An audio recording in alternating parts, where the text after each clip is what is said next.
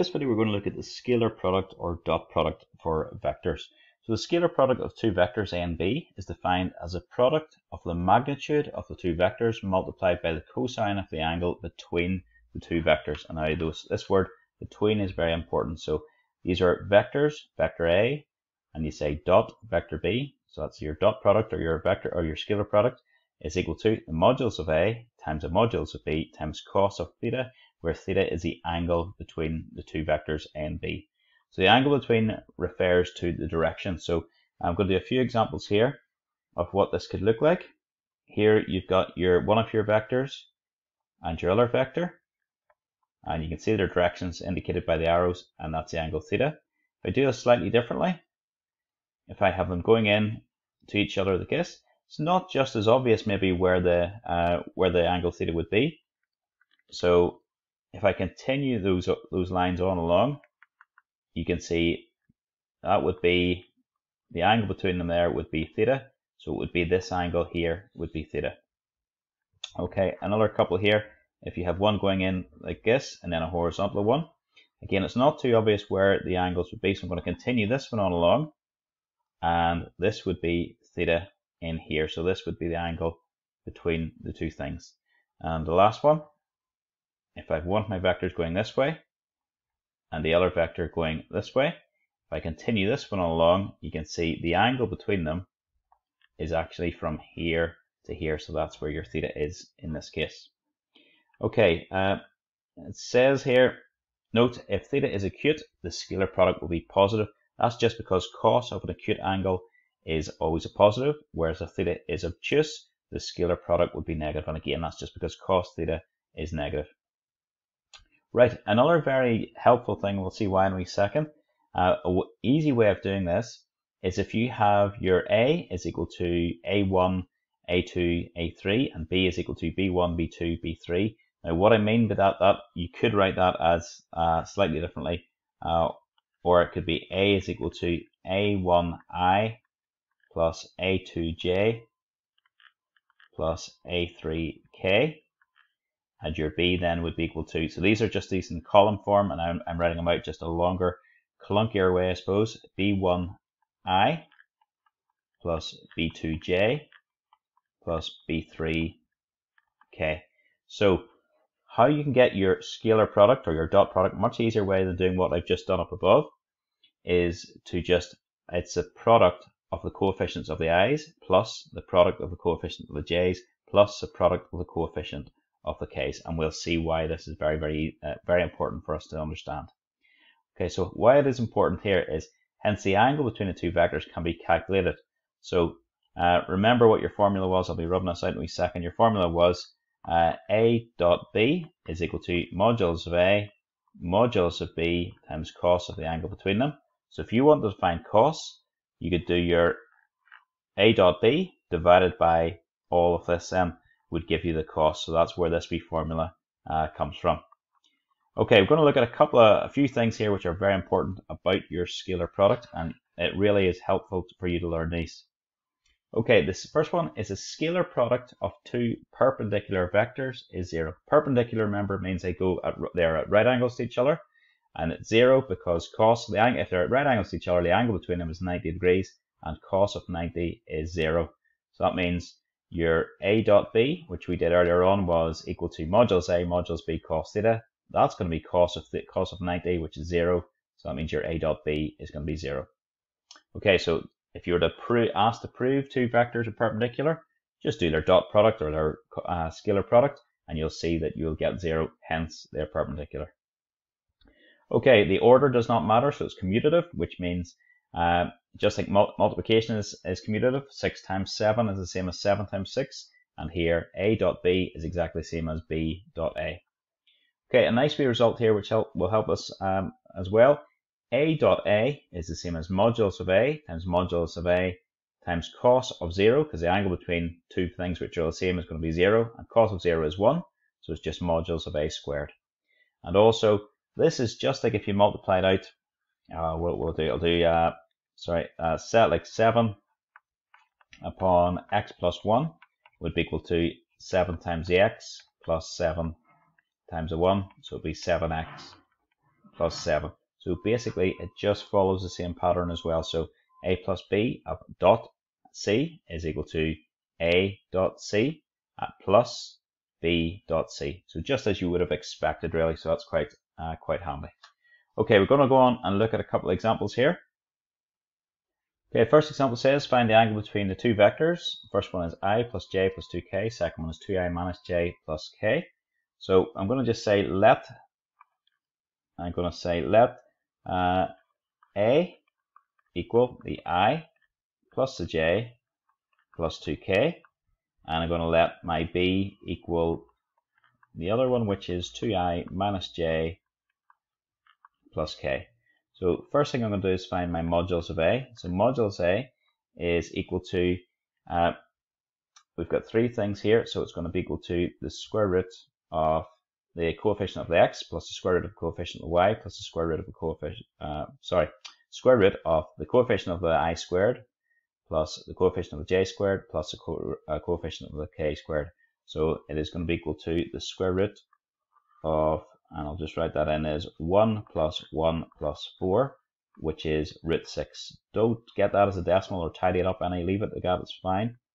Uh, your modulus of b is going to be equal to, again, the square root of the coefficient of the i squared, which is 4, coefficient of the j squared, which is 1, coefficient of the k squared, which is 1, which is root 6. Okay, uh, we've got your modulus A and your modulus B. We're also going to find out what A dot B is, and we'll see why this all, all in, the, uh, in a minute. Okay, to do this, the best way to do it is easiest way of getting your dot product or your scalar product is to do add the products of the i's to the products of the j's to the products of the k's, and that's the coefficients there. So the, the coefficients of the i's are uh, 1 and 2. So 1 plus 2, 1 times 2 that's my product of my coefficient of the i's. My product of coefficient of the j's is 1 times minus 1. Product of coefficient of the k's is 2 times 1, which is going to be 2 minus 1 plus 2. 2 minus 1 plus 2 is going to be 3. Okay, why we're doing all this is because a dot b is equal to modulus of a, modulus of b times cos of theta. So fill this in like it's an equation. We know this bit. The a dot b bit we now know is equal to 3.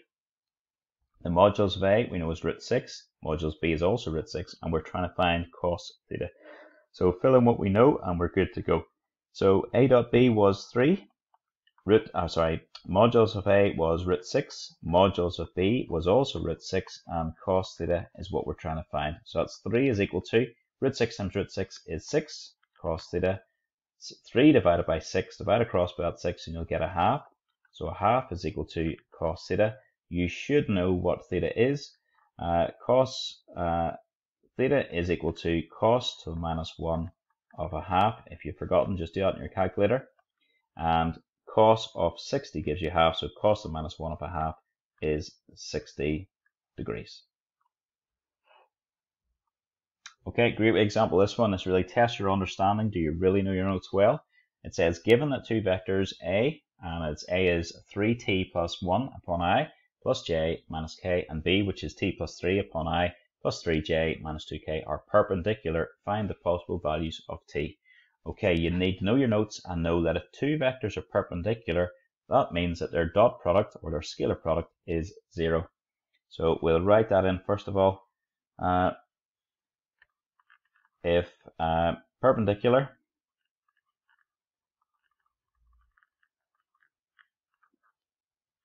theta is equal to 90 degrees, i.e. cos theta equals 0, i.e. a dot b is equal to 0. Now I'm doing more than I need to here really, it's just for the explanation for your notes, but I would really just say if perpendicular, uh, a, a dot b equals 0 is what I would do in an exam properly. So we'll just go through that and we'll work out what that means. We'll find out what our a dot b is. So a dot b, product of your coefficients of your i's is going to be, we'll do it out the long way, we'll not skip anything, that's going to be 3t plus 1 upon t plus 3, plus the coefficients of the j's, which is just 1 times 3, plus the coefficients of the k's, which is minus 1 times minus 2, And let's just crack on with this and multiply this all out. Expanding out that first bracket, you're going to get 3t squared plus 9t plus another t, so that's going to be 10t. And then plus 3, and then plus another 3, and then plus another 2 is equal to 3t squared plus 10t plus 8. Okay, we know, or we should know that that's equal to 0, so we're just going to say put 3t squared plus 10t plus 8 equal to 0. And then we should go ahead and factorize this. So, uh, so here the sum is 10. So we'll just do a sum product method do this. Sum is 10, product is 24.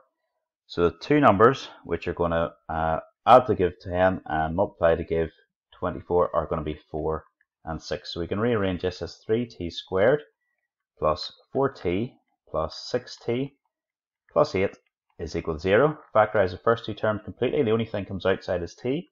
So it's t upon 3t plus 4.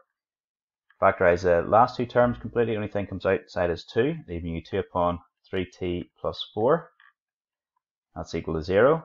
So 3t plus 4 upon t plus 2 is equal to 0. So you're left that 3t plus 4 is equal to 0, which means t is equal to minus 4 over 3, or t is equal to minus 2. Okay, last example is a bit strange. It says, show that triangle ABC is a right angle triangle and find the other two angles given that A is a point 5, 3, 2, and B is a point 2, minus 1, 3, and C is a point 7, minus 3, 10. So the first thing I'm going to do is I'm going to find the direction vectors or uh, displacement vectors. So the vector from A to B, first of all, that's B minus A, remember? And I'm going to write these as column vectors because it will save me an awful lot of time. That's going to be minus 3, minus 4, 1. You can check my working out later on. A to C, that's going to be C minus A. And as a column vector, that's going to be 2 minus 6, 8. And the last one is B to C, and that's going to be equal to, oh, I forgot to do that the step. Uh, sorry. Well, we know what that is anyway. That's going to be our uh, that's going to be our C minus B, which is going to be 5 minus 2 and 7. Okay, so we've got all that. We also need to find the lengths of these things. So modulus of AB then is going to be equal to, so it's a minus 3 squared gives you 9, minus 4 squared gives you 16, 1 squared gives you 1, square root of all that, which is just going to be root of 26. Don't work that out as a decimal, leave it as, as it is, it's fine. Modulus of AC, uh, modulus of AC is going to be equal to the 2 squared, which is 4. Uh, sorry, that's a mess there. Uh, 2 squared, which is 4. Uh, 6 squared, which is 36. 8 squared, which is 64. And the square root of all that, so that was your, I'll write that again to make it a wee bit clear. Modulus of AC is equal to root of 104.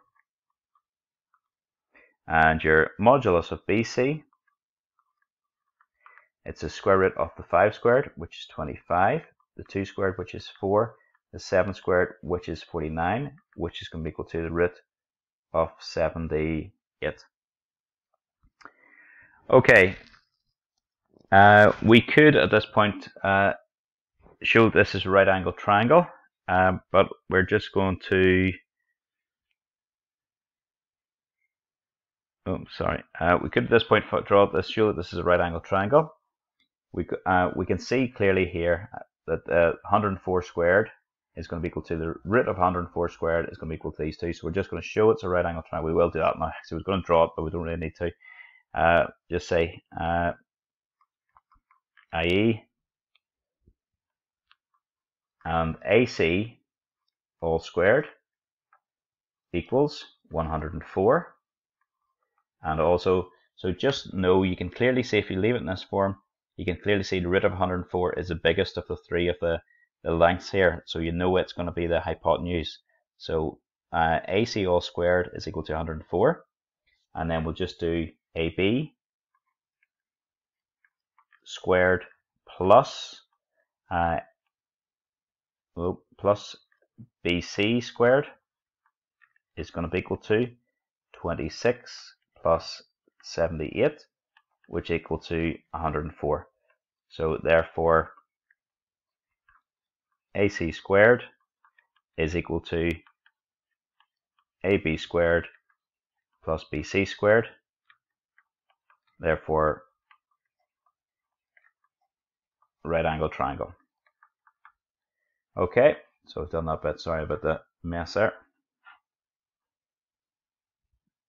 Okay, so we've got to, we've got to find the other angles. So I'm going to find um, my A to B dot A to C, and it's going to be equal to modulus of AB times AC times cos of theta, and my we'll do the left hand side of this A to B dot A to C. Remember that's a product.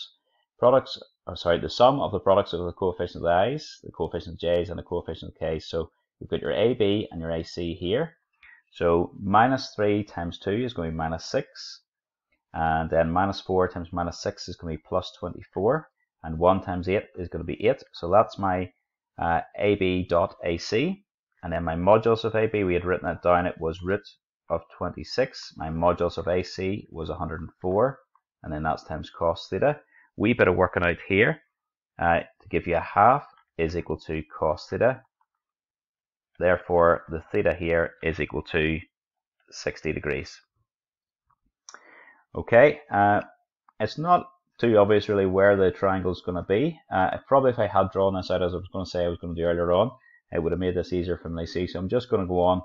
Um, if I find my other angle, this next angle, if I find it to be 90 degrees, then I can still work out the three angles on a triangle. I can still work out what the other two angles, uh, the other angle is going to be. So it's not a big deal uh, very easy, uh, uh, very easy for me to do. So I'm going to this time look at AB dot BC. So it is going to be equal to. Uh, we already know, of course, that the, other angle is 90 uh, because it's a right angle, so you know it's 30. But I think we do need a wee bit of working out to show. So we'll do AB dot BC is equal to modulus of AB modulus of BC times cos of theta. And if you work this one out, it's going to be minus 15 plus 8 plus 7 is equal to root of 26 times root of 78 times cos of theta. That is 0 over here is equal to then cos theta. That means theta is equal to 90 degrees. Uh, so we'll just say, so other angle, three angles in triangle add up to 180 degrees. The other angle is 180 minus 90 minus 60, uh, which is 30 degrees. So your answer, the three angles are 30 degrees, 60 degrees, and 90 degrees. Okay, well, you could argue, and to be honest, I would imagine you still get the marks. You've already shown it's a right angle triangle because here it satisfies Pythagoras' theorem. Uh, you've found out one of the other angles is 60 degrees, so you know one of the angle from Pythagoras has to be 90, then the other angle 60, and the other angle then you could skip this out. This was just to show that one of them was 9 degrees. You could have gone on and done. Uh, we have done AB.AC. If I had done BC.AC, then I would have found 30 degrees. But you can see there's sort of loads of ways doing it. I've maybe done more work than necessary here, but sure. Okay, uh, the questions you can do then, understanding pure maths, exercise 2C, a whole pile of questions there, and also exercise 17a and a whole pile of questions there.